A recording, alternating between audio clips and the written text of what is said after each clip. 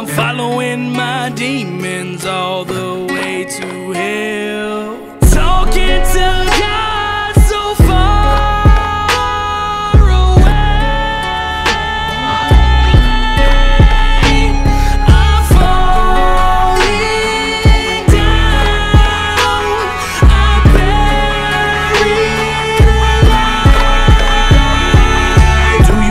It's like to live your life in the eyes of the public while they wait to watch you fail?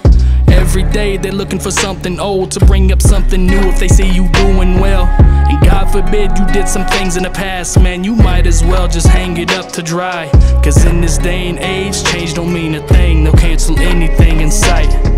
People are casting stones for things they've done themselves. They just don't have a million people praying they fail and watching every move they make and honing on their mistakes and show the world that you're not who they think. The pressure keeps mounting higher. I no longer desire to live this life I chose because I'm no longer inspired. But these people require me to keep bringing the cipher, so I'll speak till I'm tired, holding my feet to the fire, screaming. Somebody save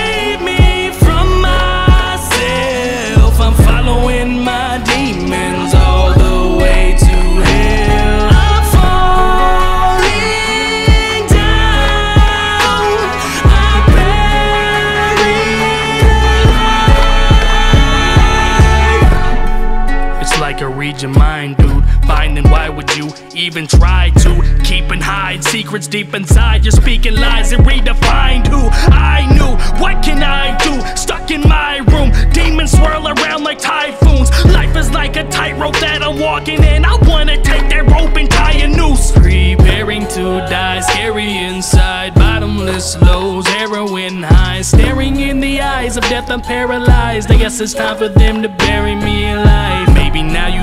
Bar you set for me is higher than the one that I can actually reach. This is what you wanted. Raise your shovels high, lay me in the dirty, bury me alive. Somebody save me from myself. I'm following my demons